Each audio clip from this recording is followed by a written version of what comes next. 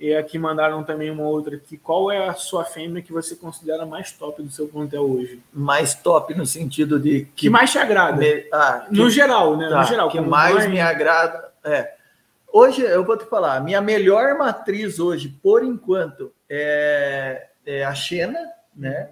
E, e, hoje a cadelinha que eu mais gosto assim de ver, que eu acho mais completinha, é a Coral, que é a três vezes veneno. Uhum. Mas também gosto muito da Rainlock, que é a filha do Super Tricolor, que acho que você até você prefere ela, né? Mais volume e tal.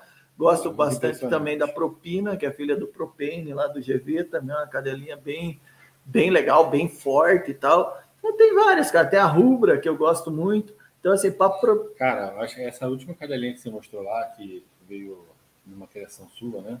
Ah, é, daí agora aí. tem a Apple, né? Cara, que daí já é uma cadela. Muito impressionante, é, cara. Cadelinha curta, bem feita, bem desenhadinha, né, Bastante né, cara? Volume, Exatamente. Cara, muito legal. É, eu, eu costumo dizer, eu tô com 23 cadelas hoje no meu plantel, mas eu tenho pelo menos umas 10 que é supra, supra, sumo mesmo. É o, é o espremido do bagaço mesmo. O negócio é diferenciado. E uma outra